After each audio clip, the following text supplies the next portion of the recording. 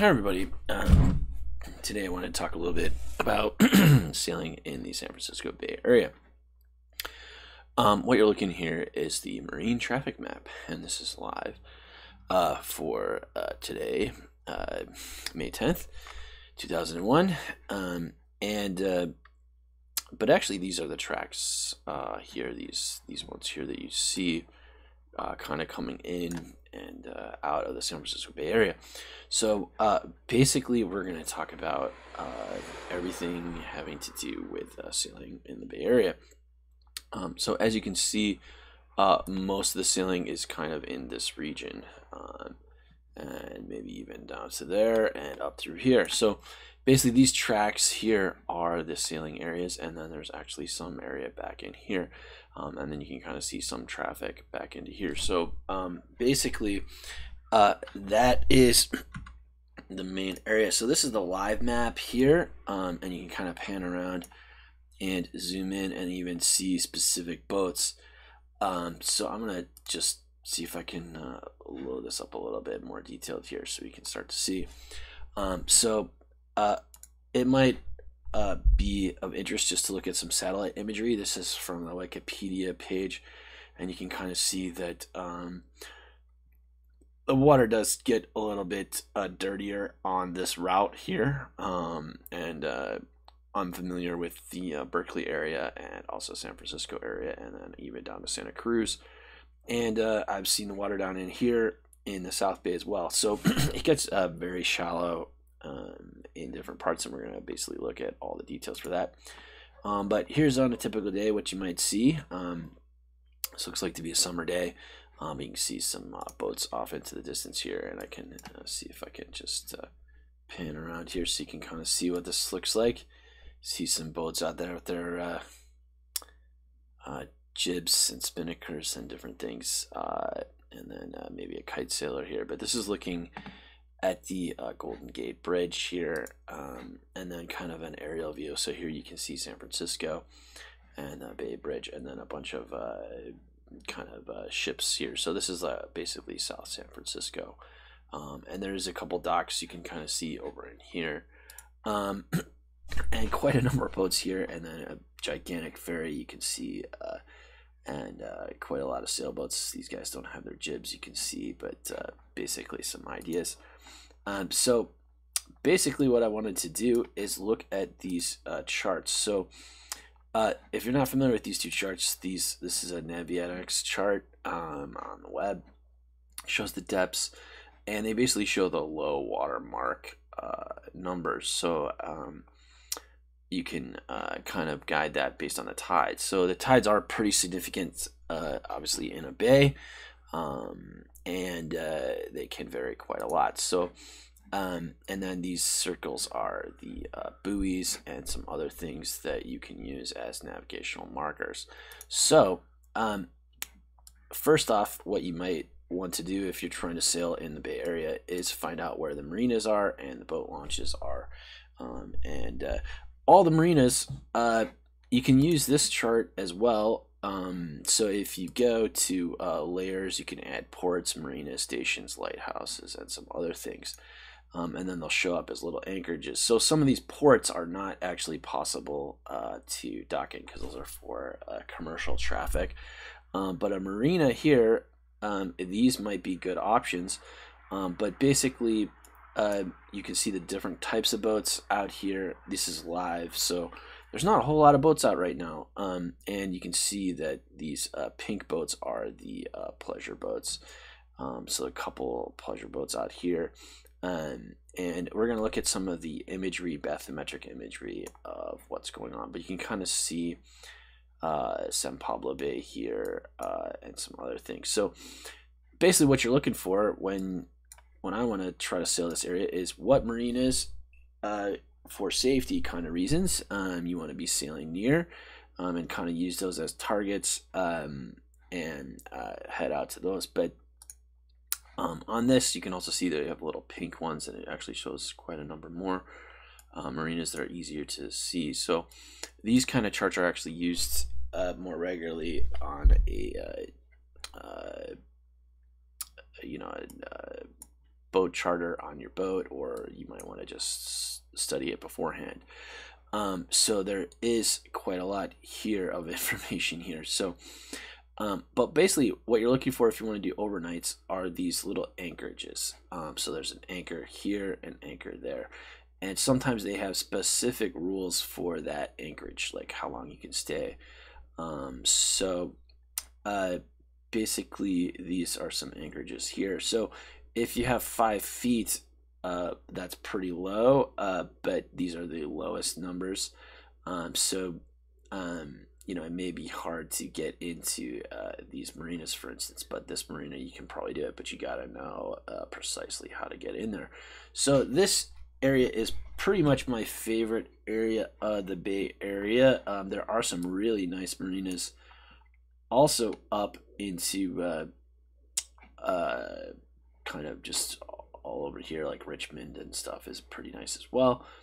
Uh, but that way you get a full view of the bay. Um, and when you're here, you're kind of centrally located. So if you look at what's going on, um, so there are some. Uh, I, I, was thinking of sailing down here from uh, the Columbia River, and that's a whole separate topic in itself. But I wanted to first look at where I could actually go um, if I was in the Bay Area. So my sister lives over here in Berkeley um, and uh, my aunt and uncle and things like that. Uh, so I've never actually lived there, but I lived in San Francisco, a couple spots uh, down in San Jose, Silicon Valley, and some other areas. Uh, but basically, uh, what we're talking about here is how to sail this. So uh, I'm gonna put this on pause for a second here. Um, let me see. So Okay, so uh, basically what happens here is you got to come kind of compare charts, right? So I like the Navionics chart primarily because it has the uh, marinas, um, just because uh, I don't really know what I'm doing, and it's nice to talk with others at the marinas if you need help. Um, so basically, um, with this chart, uh, this is a different chart.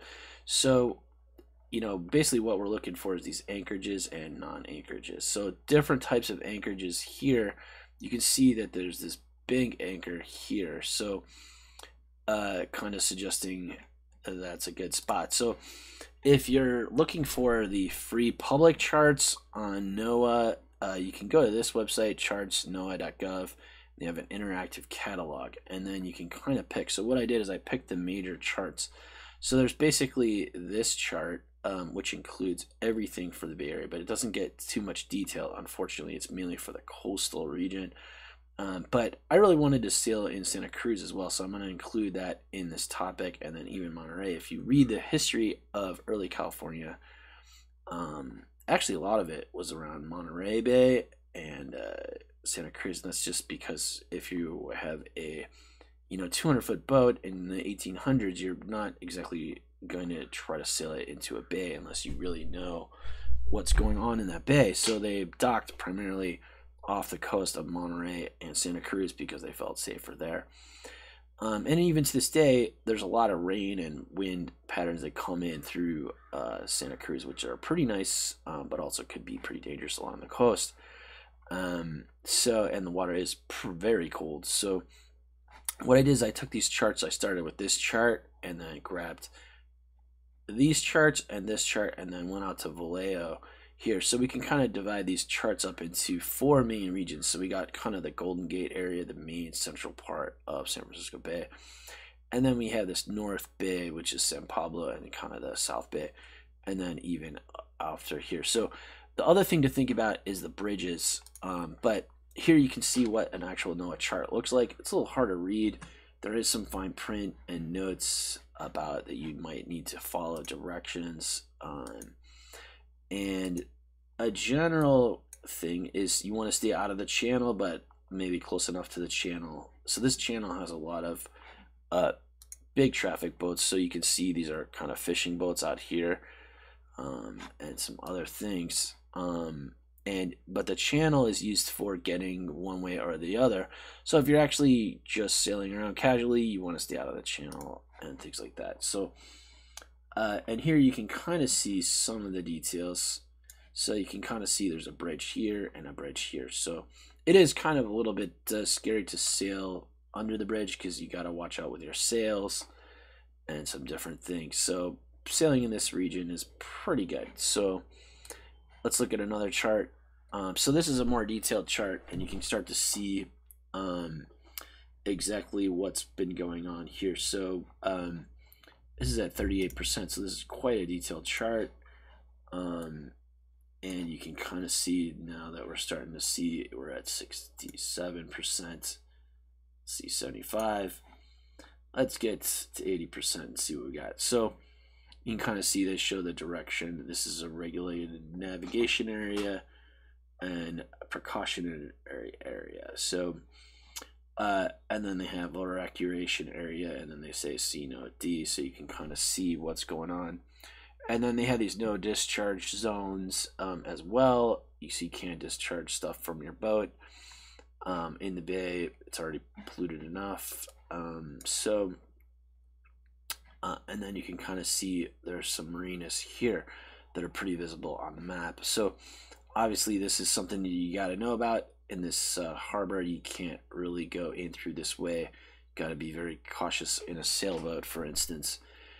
Um, so this is kind of the main little idea here. So this is kind of a major harbor area. So this this whole area so the, the part that i'm having a hard time with is i was over in the berkeley marine. I really liked that area and definitely this seemed uh, like a great spot too, just because it's easy access to Berkeley. Um, once you get here, you can maybe even bike over to downtown or even walk wouldn't be a problem to get to Berkeley. So, uh, San Francisco, uh, we'll look at that in a second, but um, because this is my favorite spot, we'll look at this. Quite honestly, it's mainly commercial traffic along San Francisco, and there's not a whole lot of docking over here, right? So basically, these are all docks, but it's primarily commercial stuff. There may be some spots that you'd have to work out a deal with the marina more carefully. Um, and these these areas here are pretty easy. Um, anyway, so this is a great map. I really like this one. Um, and it's nice because it's a static map. Um, but again, it's nice to also have the uh, marine Navionics map. So in the Marine Navionics map, you can also see these little anchorages. I don't know why they don't show the anchorages clearly on the uh, other ones. So, uh, but these are some nice little anchorages, and you kind of see. So you got to really think about this um, in terms of the anchorages. So let's look at the other chart really quick here. So here's the San Pablo Bay area. So, um, and we'll kind of compare that to the uh, other charts here. So you can see the San Pablo Bay, um, and it looks like, um, let me see on the, uh, you can look up this uh, Google Earth. So basically what we're looking at here is the whole entire bay, and you can kind of see uh, it's certainly very beautiful up in Marin and Sausalito. A lot of people I know try to, uh, you know, do this uh, the, kind of this area in the North Bay, um, and then maybe uh, Berkeley area. So what I wanted to really look at also is the uh, San Pablo Bay, and then this uh, what the possibilities are down in here, um, and uh, you know eh, from the uh, navigable charts you can kind of see, you know, if we zoom out a little bit here, so it's it's uh, you know it, it looks like it's deep here, but what I noticed in the uh, other charts is uh, so these are the bridges here that you got to be aware of, um, and then some context. But so if you look at uh, if you look at what's going on in the bay, let me pause this for a second. Uh, so we, before we get into the uh, details, I wanted to look at this map because I really like it. Shows very kind of obviously where the problems are. So, you know, in general, you could probably sail all in this these areas and maybe even back into here, right? But there's kind of these drainage patterns that come in through here. Um, so if you look at, and that's like marsh and very very shallow, so you want to be super careful about that kind of stuff. Uh, so one funny thing is on this uh, bathymetric imagery, um, I actually found this with USGS, and this is a pretty good map. You have to click on uh, the base map over here and then click on oceans. So if you zoom in here, it will start to load and you can kind of see. So you can see how all these rivers drain. So one of the amazing things to me was just how all of California basically drains into the Bay Area. And it may have, there's something kind of strange in here. So it's basically, there's this mountain range here and this is the Sierra Nevadas, Lake Tahoe, and so on. So basically, it kind of drains through Sacramento. Really nice thing about Sacramento is actually it's a farming capital, right? So there's a lot of farming going on here, and there's a river here, and this runs through here. But as you zoom in, you can kind of start to see some things. So I just want to show you this. So this canyon is pretty interesting. This goes into Monterey, and we also want to think about all the earthquakes as well, uh, because there could be. Uh, tsunamis and things. Uh, but anyway, so what I really like about this map is it starts to show you some really incredible detail as you zoom in here. So you can kind of see this like trench in here and kind of how this all works. So certainly you can sail in through here and you can start to see some super interesting uh, details. So this actually didn't load it up yet, but there you go. So now you can start to see these details. So um, certainly um, the uh, water is super interesting and weird and even difficult to sail when the uh, when you got these big holes in here. So uh, for some reason this doesn't show up on it probably does on the uh, Navionics. Let's just see here. So this is off the coast of there. So it shows 121 feet, 170 feet. So there's kind of some weird I don't know how to explain it, but uh, some weird differences, right? So you can kind of see these points here. Um, that this little guy is actually deeper than this guy, but uh, it looks like this is a pretty massive spot here. So super interesting. I wish it could kind of show the detail at a higher level, but um, and then you can kind of see what's going on in here. It looks like they pretty much just dredged this whole area out. So this must be a pretty important area. So you can see on the boat traffic, uh, there we go. So this is the boat traffic, so unfortunately doesn't show that at a lower resolution, but these for sure would be safe and then maybe right out of here. So when you're looking for anchorages, you kind of want to try to find something, uh, you know, deep enough, but also close enough to an area if you need to get out of there. Because a tide change that you didn't expect or something. So you can see there's quite a number number of boats coming into here. And uh, obviously, this is really close to this main high traffic area. So, I really like this whole Richmond area and also Berkeley area. So, you can see, let's just zoom in and see what's going on right now. So, you can kind of see it's too bad they don't show uh, these traffic maps, but not a whole lot of boats. And that's the part that scared me. I didn't see a whole lot of boats when I was out there in the bay was like, man, what's going on here?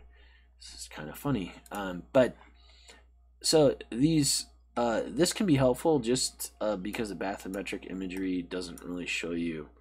In my opinion, I just like the way that this looks when you get zoomed in and you can kind of see uh, some of the details. Um, and this looks interesting. You kind of see the collection at the uh, gate here. Now, you definitely want to make sure, I don't know all the details on the bridges, um, in terms of ceiling. Um, you know, you might want to have at least uh, 100 feet or so above above the water. Um, and uh, now here are some trailheads. So these are different trails. So maybe if you were docking your boat, the other nice reason in Berkeley, there's a lot of little trails here, and you can maybe figure out. Um, but these are definitely marshes and some other areas, so we gotta definitely stay careful from these areas. Um, and uh, and then here's a ferry map that I could find. Um, and you can kind of see Berkeley over to San Francisco and then some Sausalito. So in here, there's a lot of ferries, and it might be fun to maybe dock your boat, or even if you don't have a sailboat, to take a ferry. Looks like uh, this is a pretty long one. Maybe here's another long one. Just take a really long ferry and kind of get across the, the bay to see what it looks like uh, before you actually sail it. Um, certainly, if it's deep enough for the ferry, it's deep enough for your boat. And here's kind of a live lightning map, which I really like, um, just to check what's going on with the weather. Um, and you can also see the latest earthquakes. Looks like we just got an earthquake uh, within the last hour or so over by San Francisco. So basically, these are, let me see what one of those earthquakes. So this is at 10 o'clock, and here it is 11 o'clock. So those are small little earthquakes, but uh, certainly it's super interesting to see what's going on. It's going to load up even more earthquakes. So the earthquakes are pretty common um, in the bay. These are not super big like these these ones here. Um, and you can see that was a 1.5 um, but certainly it would be interesting uh, to know about um, and then here's the official bathymetric imagery so you can kind of see this even shows this is NOAA's uh, website so maps.ngdc.noaa.gov viewers slash bathymetry so you can also see some of the mountain ranges um, and it might be fun to uh, uh, kind of be in an area where you can hike or even walk up into the hills after you boat. So you can see that this is kind of strange area. It doesn't really show up, but it's a very marshy area. Um, let's see if we can zoom in here a little bit and uh, get some more details. And I think, uh, so you can see it looks like to be pretty much the same. And that's what I kind of felt like when you're looking at the water. It looks like it's pretty much the same depth. But if you're racing, you might want to know where it's deeper or shallower because um, that can certainly help you out. It doesn't really show, for some reason, the detail of the other map, and I don't know why that is. Um, but this is pretty. If you do the base map, you can kind of do this. Um, and then they got these ocean other ones. I think there's one other one that I really liked. Um, let me see if I could do this high resolution if that will change anything yeah, I think the other one was the better one. But this grayscale one, I think I use sometimes, um, and it doesn't even show it, so that's not good. So, yeah, so you got to zoom out. Um, so basically, it is nice maybe for the deep ocean sailing, and you can see that there are some rocks if you're sailing along the coast here, and even these little islands out here. Um, so you got to know about those. Uh, but let's go back to this multi-resolution map and uh, that's pretty much the best one unfortunately so the currents in general you can see uh, what's going on so California kind of heads down south and then there's a little part that heads north here um, and there's another current map if you wanted to get really detailed but in general you can see it kind of heads south uh, once you're along the coast there um, oh yeah so I wanted to take a look quick look at San Francisco or Santa Cruz actually, right? So so basically if you're gonna sail down here, um, there is another little area, um, and that is Santa Cruz. So this is Monterey Bay, um, which is basically where uh, they used to dock their boats. Um, so this is kind of the more classical California docking location, um, at least for Northern California. Um, and you can kind of see Santa Cruz having a few little marinas here that you could pull in and uh, check out. So I'm looking for some anchorages, and it's pretty deep here. Um, so I'm just seeing if there's any signs of places that you can anchor, and it doesn't show that on this map. So um, I don't know. Um, and we can look at off the coast of here. So it looks like a couple marinas, but again, I don't know if I trust these marinas. Looks like it's dredged. It's super. You have to motor your whole way in here. Um, and there's a marina here, but it looks like that's dredged too. So is it actually safe to get a sailboat in there? I don't know. You'd have to call the marina. They probably always will say yes, but uh, anyway. So I think this map is the uh, Santa Cruz map. Yeah, so this shows the Santa Cruz Harbor here in detail, so you can kind of see how they dredged it if you wanted to zoom in and look at it. But um, the whole Monterey Bay, so it looks like pretty deep actually, 50, several hundred feet even, um, and you can kind of see this pointy area that comes in here. So. Uh, so yeah, so that was the kind of the idea. So it looks like in general Santa Cruz doesn't have a whole lot of options, but it's a nice little town.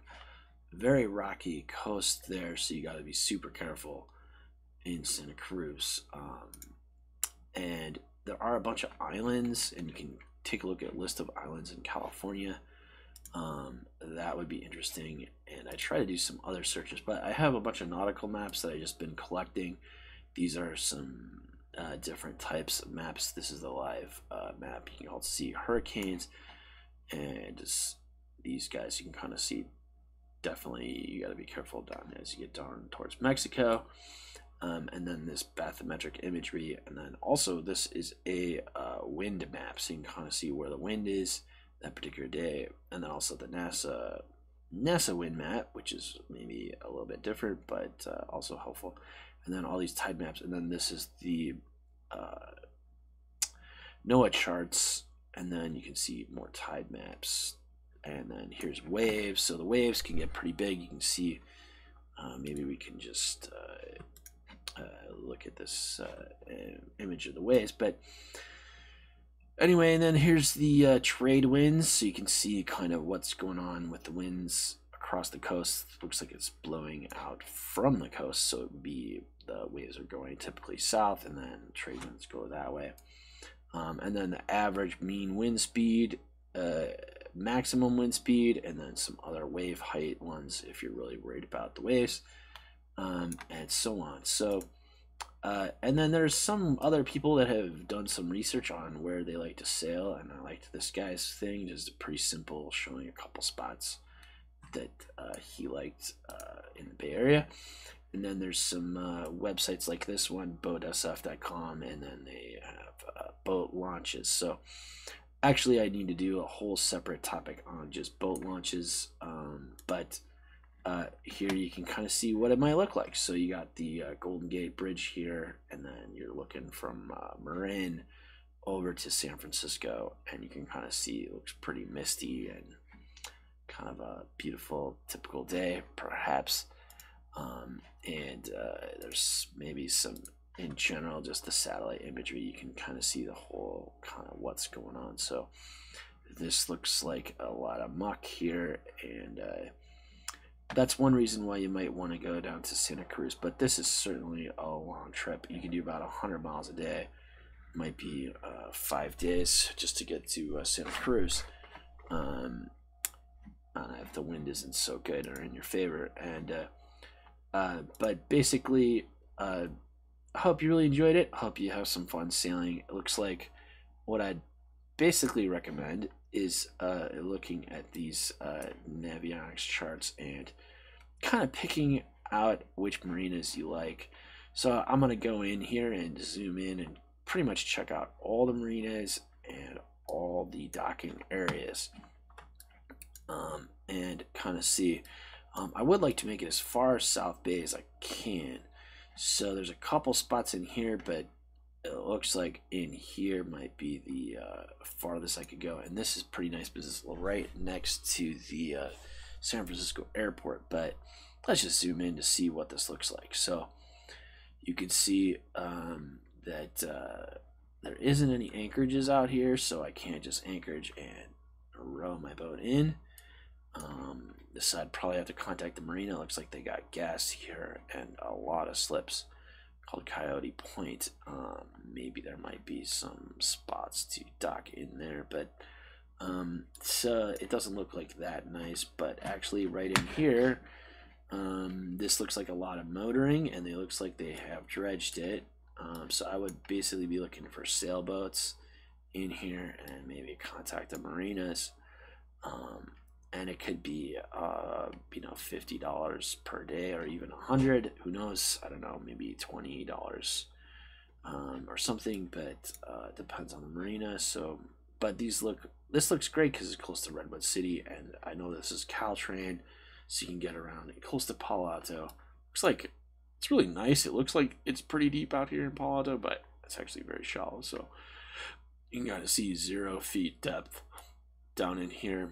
Um, but I did notice a yacht club down here in the South Bay, uh, but it looks like maybe you could get in here if you're really, really careful.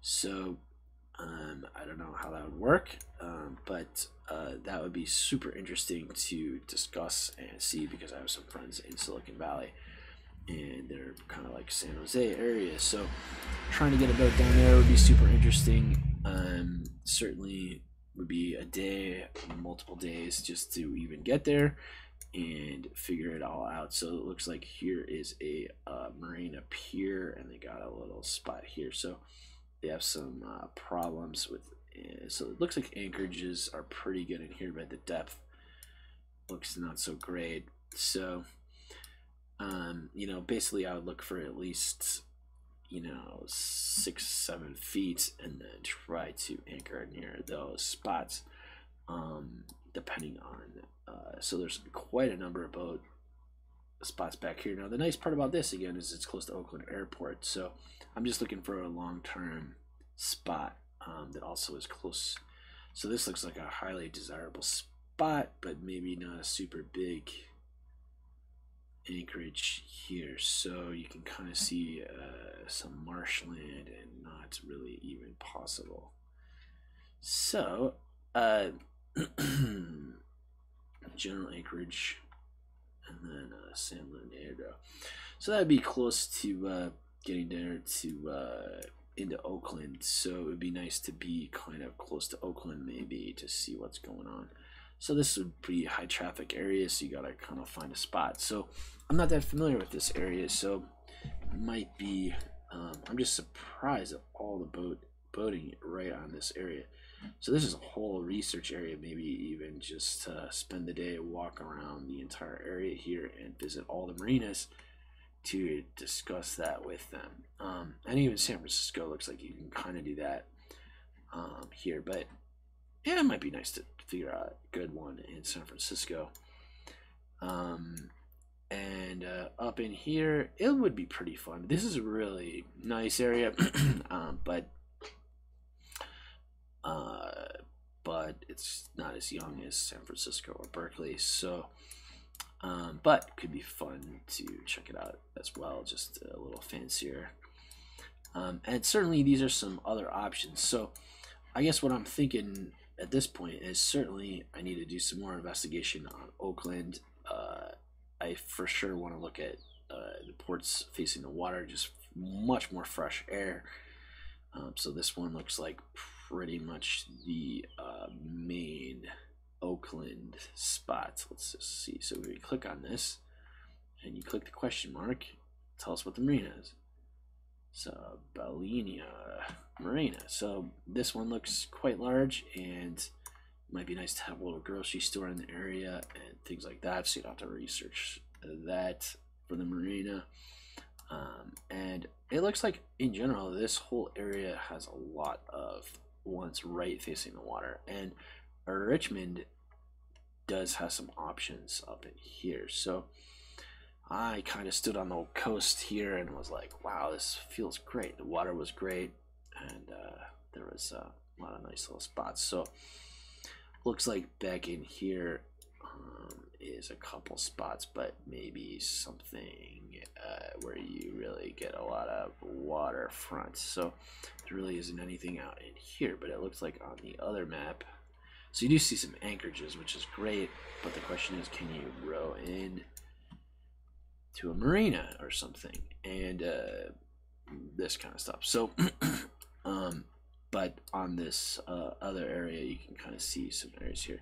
So I'm gonna maybe just talk about specific at this point, um, but you can. Uh, take a look at all these um, and I hope you enjoyed the discussion. Uh, let me know if you got some suggestions. Um, what I would say is uh, take a look at start with uh, maybe the the marine traffic map and certainly um, try to navigate uh, around into the area that you think is best. Um, I really like the Berkeley area and Oakland just because there's a lot of people there and maybe affordability as well. And the anchorages right off the coast are possible. So, um, and uh, anyway, so uh, hope you enjoyed it. See you.